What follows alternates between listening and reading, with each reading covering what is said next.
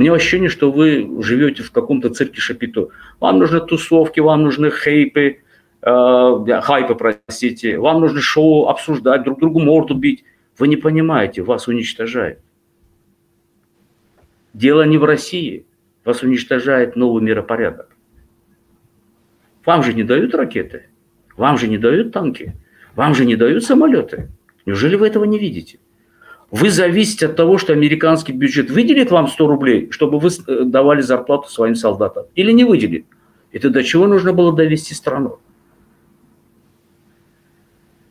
Все нужно взять в руки власти и поставить под контроль. Все до копейки должно идти на армию, на государство, на построение независимости страны. Оно все утекает по карманам и зарубежным счетам. Вы когда спрашиваете, есть шанс? С этим результатом нет шанса. Расскажите мне, пожалуйста, о том, что произошло сейчас с Карабахом. Э, я вам задам банальный вопрос. Э, как построили отношения Азербайджан и Турция, мне понятно. Как помогают Азербайджану те же израильтяне, мне понятно. Мне непонятно, почему Россия сдала Армению. Вот этот вопрос я вам задам. Самый ключевой вопрос, самый хороший вопрос, и это развеет миф, пропаганду Украины, я имею в виду вот таким ангажированным людям против Азербайджана, что мы партнеры с Россией изгоняем бедный народ. Смотрите, исходя из концепции американцев, шторм над Каспием, он зацикливается на трех главных постулатах. Военная база Казахстан, военная база Туркменистан и военная база Азербайджан. Для чего? Второй пункт – начать войну против Ирана. А нам нужна война с Ираном? Нет.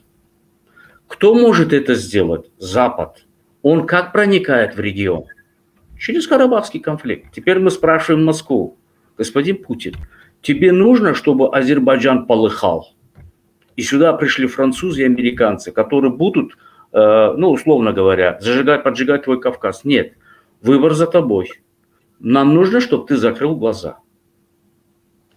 Запад готовил, а особенно Франция, санкции, Совет Безопасности ООН и ввод войск на территорию Карабаха. Мы опередили их. Посмотрите сегодняшнее, точнее вчерашнее заявление господина Макрона. Оно публично есть они готовились ввести свои, ну, миротворческие, я не знаю, там, они же вели на территории Армении так называемых наблюдателей Совета Европы. Это все бывшие офицеры разведки. Все, начиная от Бундесвера, БНД, немецкой разведки, заканчивая французской разведкой. Там нет простых парижан или простых каких-то ученых из, э, так скажем, мягких кабинетов. Там нету, там все офицеры разведки. Мы понимали, что готовится операция, логистика, проникновение в Карабах французских военных. Пусть будет ограниченный контингент 150 человек. Теперь попробуй их оттуда выгонить. Попробуй, чтобы с французского солдата упал волос. Мы просто их опередили. Мы поставили вопрос боком. Москва, или ты, мы полыхаем, через нас полыхает твоя страна, или сюда ни американский, ни французский солдат не придет. Это Но полностью... это Эрдоган поставил этот вопрос Путину. Естественно, для чего он летал в Сочи? Эрдоган... А что попросил Путин взамен от Эрдогана? Скорее всего, участие или присутствие России в Зангизурском коридоре раз. И э, еще раз гарантия, что э, Кавказ, а именно Азербайджан, не будет использован против России. А еще по Украине раз... он ничего не просил? А по Украине зачем ему просить?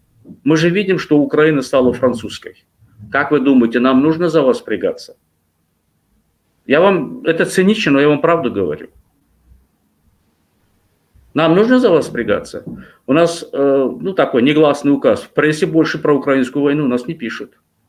Потому что у вас 24 часа пресса говорит, что мы, оккупанты, захватили древние земли и, оказывается, геноцидим армян. То есть мы не восстанавливаем территориальную целостность.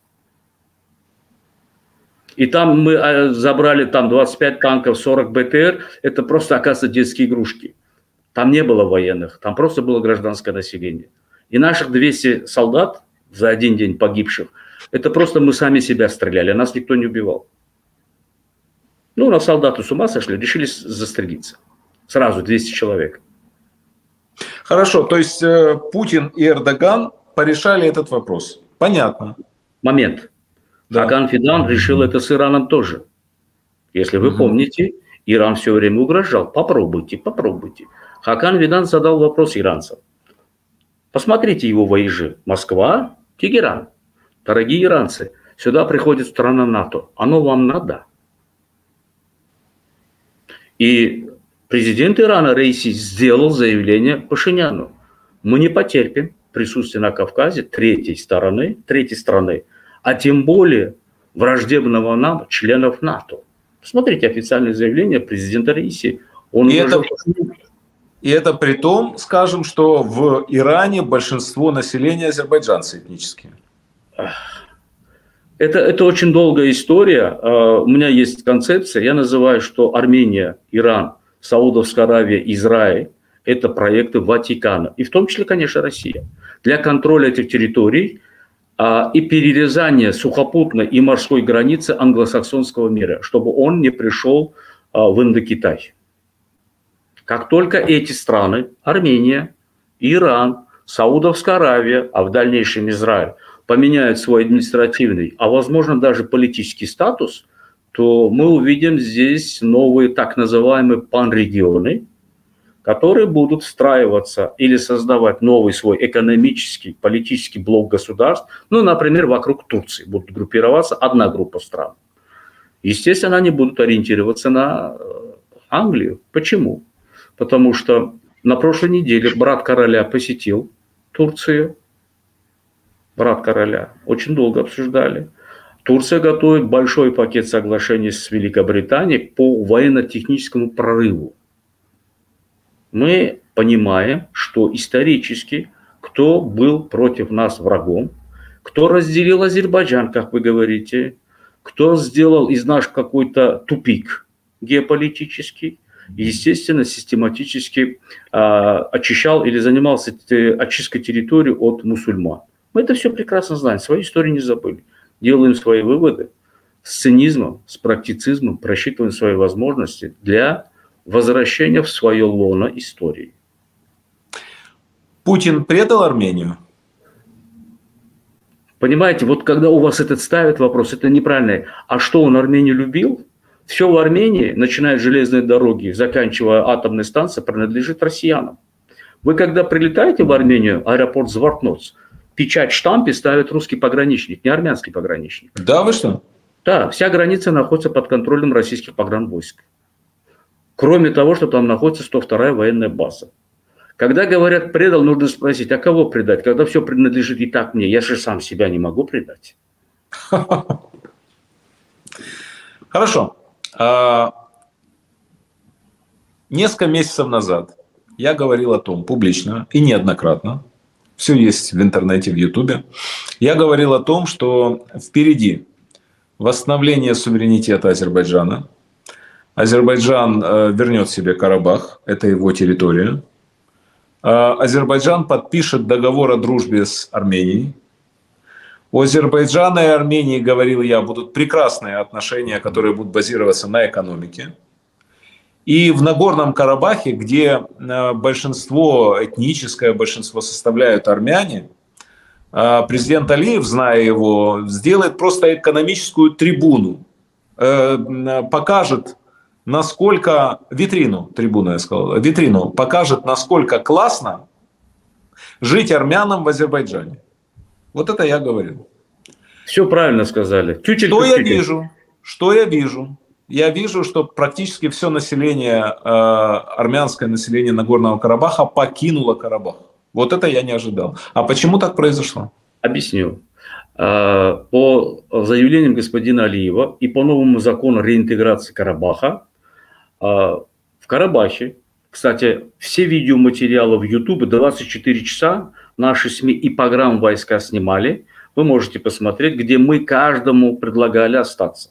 раздавали воду, еду, конфеты, оказывали медицинскую помощь, кому было плохо. Если вспомните, как 30 лет наших они прогнали с отмороженными пальцами, я думаю, что мир без, так скажем, мир циничен.